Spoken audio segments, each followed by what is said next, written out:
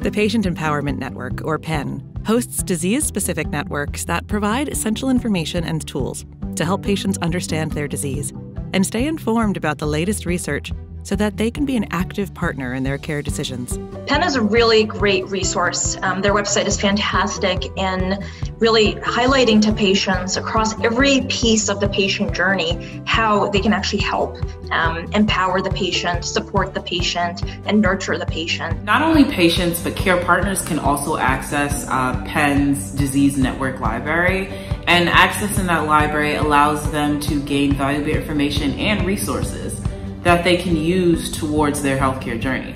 There's a wide variety of information on a number of different types of uh, cancers in particular, and the information comes from doctors, professionals, as well as patients themselves or caregivers themselves. I can tell you when I was diagnosed with lung cancer back in 2006, there were no options like the Patient Empowerment Network. So I'm truly grateful that the Patient Empowerment Network offers now the tools to learn about the disease, to learn about treatment options, and to become educated so that when you meet with the doctor, you know what to ask.